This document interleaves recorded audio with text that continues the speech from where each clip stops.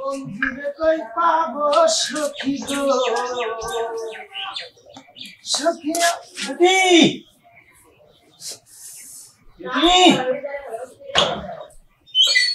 এই সিলো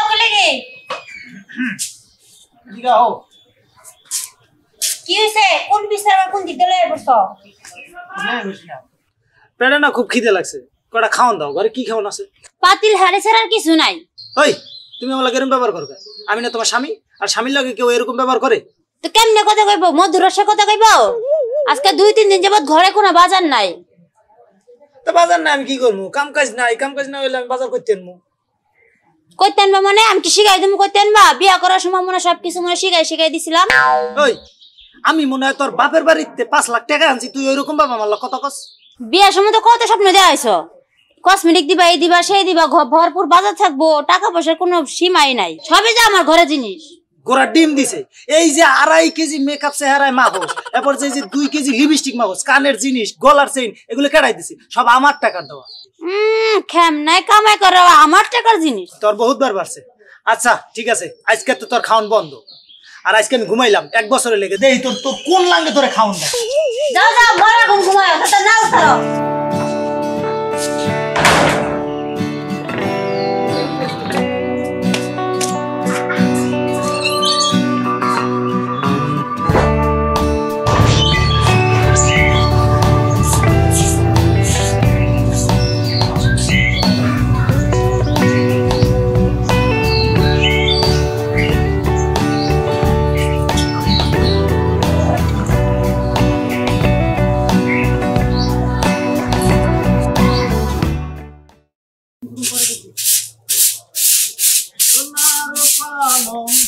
ঘরে বে।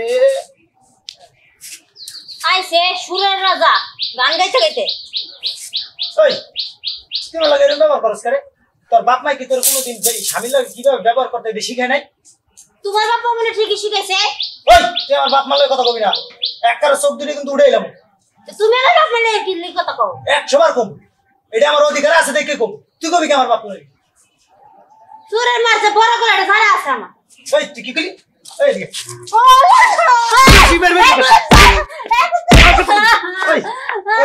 তোর তো বউ মারা ছাড়া আর কোনো কাম নাই। বউ মারা ছাড়া আর কোনো কাম নাই। আজকেই তোর একটা হেস্ত নেস্ত করতে হবে নাহলে তুই সোজা হবি না। আমি কি করব?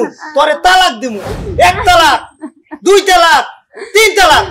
বললা এটা কি করছ তুমি? এই এটা কি করছ আমার বলে তালাক দিছে। কি কইছে আল্লাহ? ও মা গো। আল্লাহ কি করল? আমার তালাক দিছে। আল্লাহ কি করছে? আমার তালাক দিছে। ও মা গো। এই তুমি কি করছ? এই কথা ফিরাই নিয়ে যাও। এই, কথা বলো না কেন।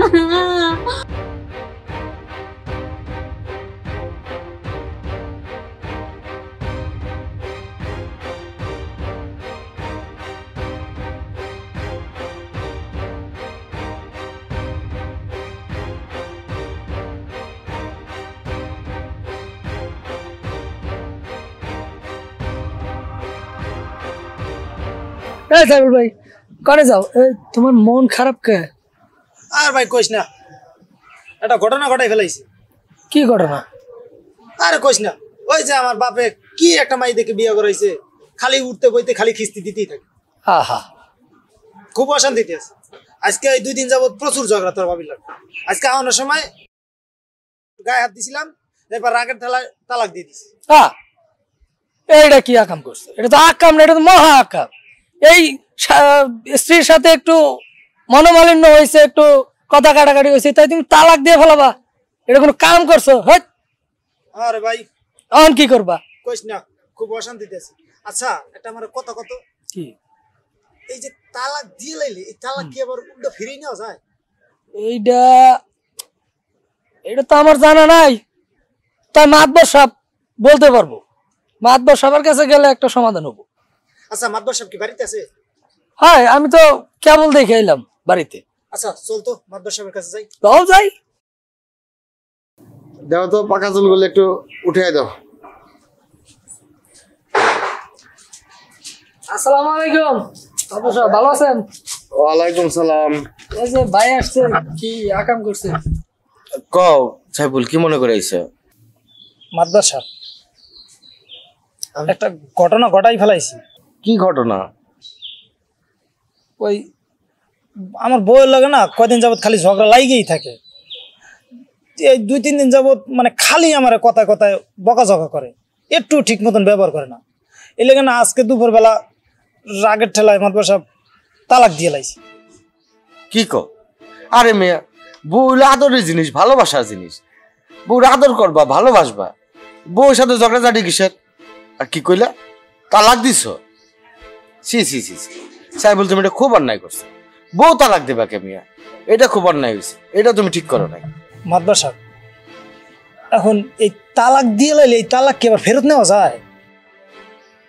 তালাক ফেরত নিয়ম যায় বলে এত মনে হয় না। তবে কিছু নিয়ম কানুন আছে। তুমি চাইলে তোমার বউ ফেরত নিতে পারো। সিস্টেম সিস্টেম রইল তোমার বউরে আরেকজনের কাছে হিল্লা বিয়া দিও লাগবে। ওই তার কাছে বিয়া দিলে পরে তিন মাস তেরো দিন সেইখানে থাকবে। দেওয়ার পরে সে আবার তোমাকে তালাক দিবে তারপরে তুমি তাকে আনতে পারবে। কোন কি মাদবা সাহেব হয় এটা হইল ব- শরীয়তের বিধান। এর বাইরে তো আমার কিছু করার নাই। তাইলে কি এখন আমার বউ আরেকজনের কাছে বিয়ে দিয়ে তারপরে আবার বিয়ে করতে পারব?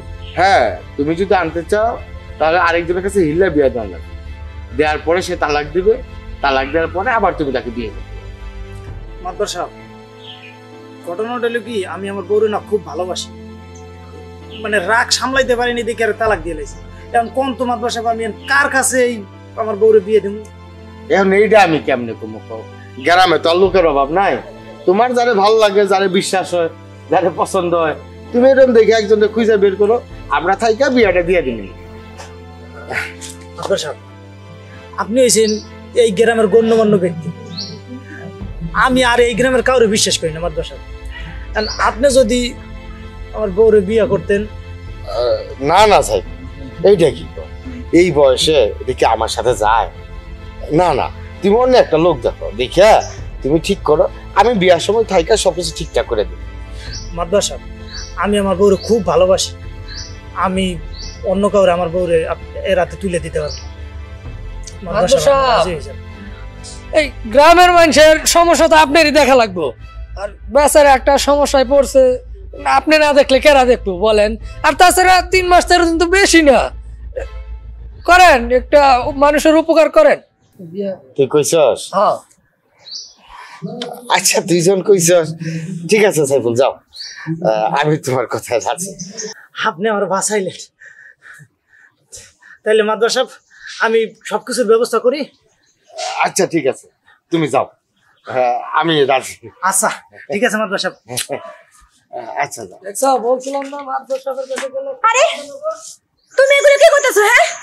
তোমার জলজন্ত বউ ঘরে থাকতো তুমি নাকি আরেকটা বিয়ে করবা? আরে তুমি কি কো আমি বিয়া করলাম কোনে? আরে তিন মাস তেরো দিনের জন্য। ও আবার তুমি তালাক দিয়ে দিব তাই না? হলে তো একই কথা বিয়ে তো। আরে পাগল না। আমি হইলাম এলাকার একজন মাতাব্বর মানুষ। এই দুটা কাম যদি না করি এলাকার মানুষ মানে মানবো। আরে রাখো মিয়া তোমার মাতব্বরি এদিকে তুমি ঘরে সতীন ঢোকাচ্ছ এখন মাতব্বরি গিরি দেখাচ্ছ না? দরকারে তোমার মাতবাড়ি গিরি তুমি ছাড়াতে পারো তবু তুমি বিয়ে করতে পারবে না আমি বলে দিলাম। আরে একটু শান্ত নাও একটু শান্তি হও। না না আমি শান্ত হতে পারব না। বোঝে না। বোধাই। বোঝে না। শোনো তিন মাস তেরো দিন পরে টিয়া দিন। কয়টা দিন দিতে পারতো দেখতে দেখতে তিন মাস তেরো দিন তুমি আমাকে বুঝাইতে চাইছো না তুমি অন্য এক ফেরির লগে আরে শোনো, আমি তো তোমার লগে সব সময় ও খালি এই বাড়িতে একটু থাকব, আমি তো আর লগে বুঝো নাই। শোনা, রাগ করেন রাগ করেন। ওই ছেলেটা বিপদে বসছে অনেক একটু উপকার করতেছি আমি, রাগ করেন।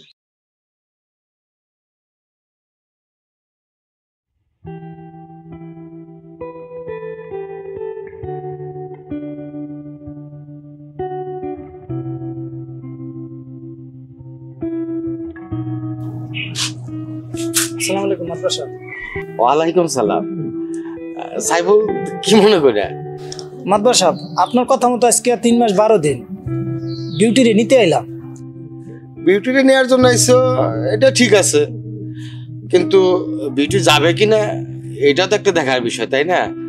বিউটি জি। সাইফুল আসছে তোমাকে নেয়ার জন্য। যাবে কিনা বলো। ও নিতে আসছে ও নিলে আমি কি যাব নাকি? বিউটি